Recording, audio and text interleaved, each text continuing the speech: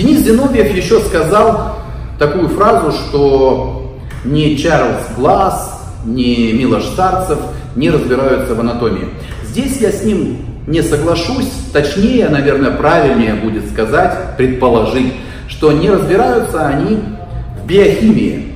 Не читали Виктора Николаевича Силуянова или какого-нибудь другого грамотного человека, поэтому они и предлагают такие методики тренинга. Но нужно понимать, что тренируют они людей, которые сидят на очень тяжелой фармакологии. Я даже не буду перечислять, что и в каких дозах они принимают. Поэтому, тренируясь в таком безбашенном режиме, закисляясь чрезмернейше, они еще умудряются расти. Представьте, что было бы, если бы они тренировались более научно обоснованно, научно грамотно. Здесь я с Денисом целиком и полностью согласен и поддерживаю его. Но говорить о том, что такие люди, которые сами тренировались, сами были выдающимися спортсменами, тренируют многих людей, не знают анатомию или кинезиологию, конечно же, неправильно.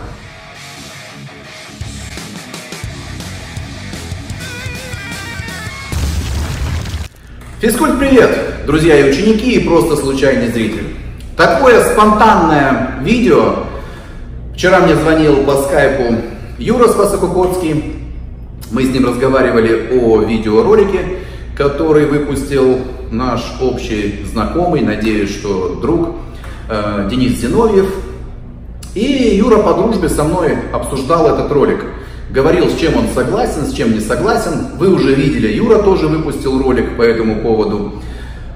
Позволю себе высказать свое личное субъективное мнение, не претендую на истину в последней инстанции, понимаю, что могу сам во многом ошибаться, но так как есть потребность в этом, многие из вас мне уже написали, тоже и Юра, мой друг тоже просил, чтобы я высказал свое мнение, поэтому, друзья, получайте.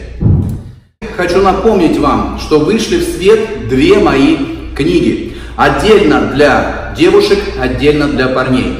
Серия «Фак Фитнес».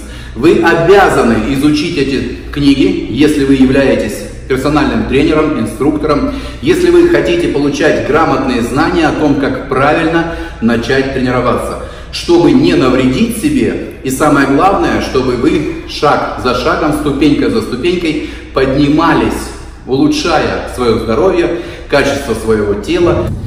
Во-первых, Самое главное, что понять нужно нам всем. В наш век таких развитых технологий мы, к сожалению, в плане понятийном опустились ниже, чем были до этого. Почему? Это связано с тем, что смысл слов потерял свое значение. И когда кто-либо из нас что-либо говорит другому человеку, по сути мы с вами, воспринимая эту информацию, не получаем ту информацию, которую передает человек. По той простой причине, что понятийный аппарат каждого слова у нас может быть разный. Или некоторых слов. Или просто мы пропускаем все через призму своего опыта, своих знаний. Это все очень важно понимать. Что я услышал из ролика Дениса Зиновьева? и с чем я не согласен. Скажу сразу, что в принципе Денис говорит правильные вещи, особенно с точки зрения науки. Мы все это знаем, кто следит за тем, что говорил Виктор Николаевич Салуянов, о чем говорят его ученики, последователи, да кто просто читает анатомию, физиологию. Многие сами понимают, что к чему. К примеру, если вы работаете на бицепс, Какое упражнение вы бы ни делали, друзья, всегда работают, всегда задействованы обе головки. Нельзя каким-либо образом, чтобы это имело существенный результат, перенести нагрузку на внешний или на внутренний пучок. Это невозможно. Единственное, как мы можем увеличивать наши бицепсы, это тренировать их на увеличение, на гипертрофию. Естественно, за счет гиперплазии миофибрил. Как в окислительных, так и в гликолитических мышечных волокнах. Это нужно понимать. Отдельно какой-то пучок накачать невозможно. И профессиональные атлеты это подтверждают как раз таки своим опытом. Почему? Да потому что, посмотрите, есть много людей, которые стоят на сцене Арнольд Классик, Олимпии, и у которых есть недостатки, есть изъяны той или иной мышечной группе. Почему они их не поменяют с этой точки зрения? Да просто потому, что анатомически, физиологически это невозможно. Точно так же, если у вас длинные сухожилия, а сухожилие, повторяю, это то, что связывает кость с мясом, то вы никак не сможете опустить ваш бицепс, если он у вас высокий. А высокий он у вас только потому, что у вас такое определенное крепление сухожилий и у вас длинное сухожилие. Все это обусловлено генетически. Поменять это мы с вами не можем. Только, повторяюсь, увеличивая или уменьшая мышечную массу той или иной мышечной группы, мы можем влиять на ее форму. Невозможно увеличить пик бицепса каким-то определенным упражнением, если у вас генетически этого пика нет. Почему? Посмотрите, опять-таки, приведу в пример профессиональных атлетов, которых бицепсы большие, шарообразные. Почему они не делают себе пик? Задайтесь этим вопросом. Что касается широчайших. Широчайшая тоже всегда работает целиком и полностью. Но никоим образом нельзя задействовать верх широчайших, низ широчайших.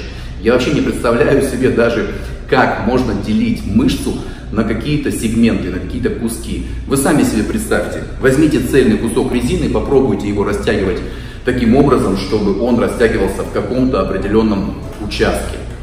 Естественно, это даже логически невозможно представить себе.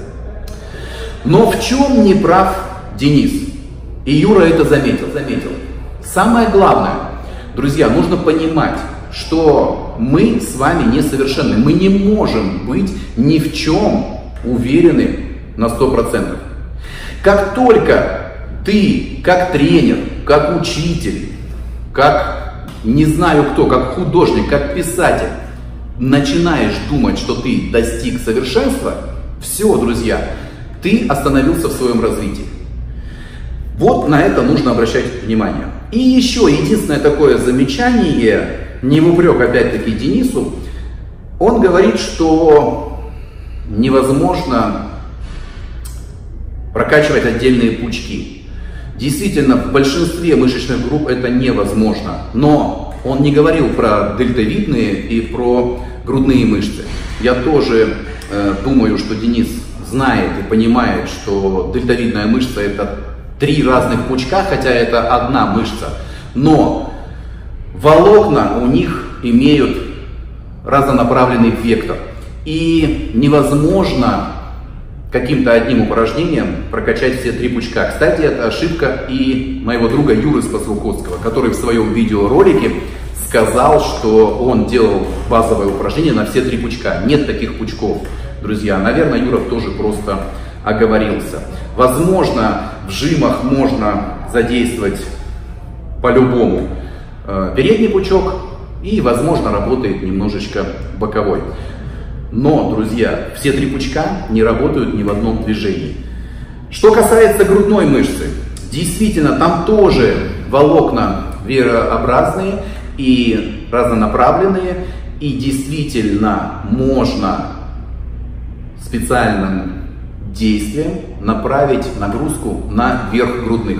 Но здесь нужно понимать анатомию, понимать кинезиологию движения и почему многие качают грудные мышцы на наклонной скамье, но верх грудных у них все равно не растет.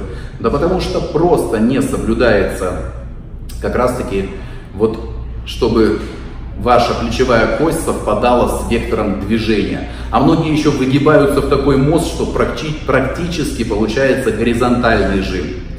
Поэтому, друзья, вы все сами прекрасно понимаете. Но ролики Дениса Зиновьева очень-очень грамотные. И с точки зрения тех современных знаний, которые сейчас есть, они довольно-таки весомые. Что касается Юры Спасокукотского, в его ролике я не согласен только с тем, что анатомию можно выучить за два часа. Да, друзья, анатомию и за два дня, а некоторыми за два месяца не выучить. Ведь недостаточно запомнить название мышц, недостаточно запомнить название костей. Это то, о чем я всегда говорю. Почему знание не всегда есть понимание. Конечно, можно просто тупо заучить. Но что это даст в плане понимания? А вот разобраться в тонкостях анатомии, какая мышца выполняет какую функцию, как она называется, это, друзья, занимает время. Поэтому, Юра, здесь я с тобой не согласен. Но, в принципе, посмотрев ролик Дениса и посмотрев ролик Юры, я не увидел, в принципе, никаких разночтений, разногласий. Просто каждый где-то что-то не договорил, каждый где-то что-то, может быть, чуть-чуть неправильно понял. Так что, друзья, давайте жить мирно, дружно, развиваться. Меня тоже очень многие критикуют за то, что я часто показываю свои тренировки, и они не соответствуют тому, чему учил Виктор Николаевич Силуянов. Ну, друзья, так я тренируюсь. Я не всегда тренируюсь четко по рекомендациям Виктора Николаевича, хотя у меня в программах присутствуют и исключительно тренировки целиком и полностью по шаблону, как нам завещал Виктор Николаевич. И на гликолитические, и на окислительные мышечные волокна. Но когда я тренирую гликолитические мышечные волокна, я часто позволяю себе отдыхать не 5-10 минут между упражнениями на одну мышечную группу. Но это не касается ног и спины, потому что там действительно устаешь очень сильно. Но на грудные, на бицепс, на трицепс, на те же дельты, на малые мышечные группы мне часто достаточно двух минут. И, как говорит наш общий друг Юра Спасвукотский, практика здесь показывает, что, друзья, она работает. Возможно, она работает сейчас на мне, потому что я с недавних пор на темной стороне, о чем я не скрываю.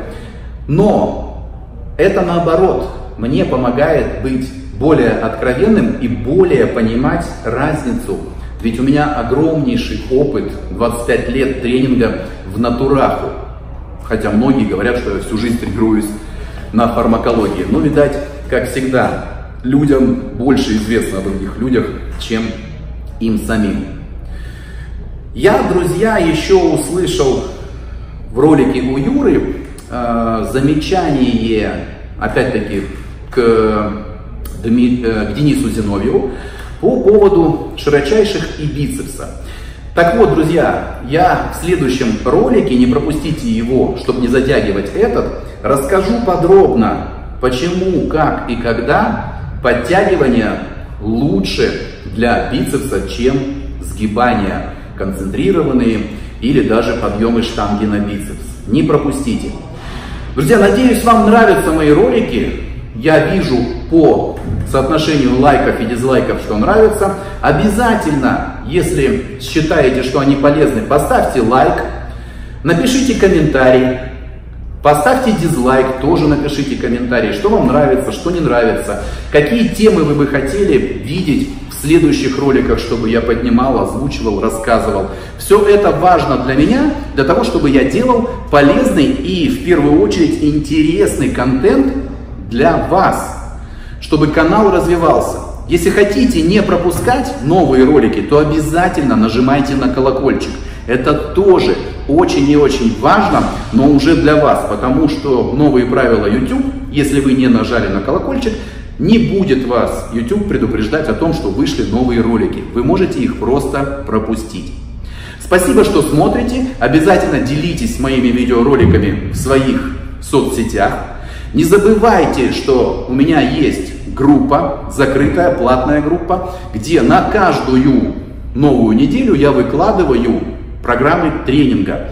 Отдельно для парней, отдельно для девчонок. Рассчитанные как раз по принципу периодизации.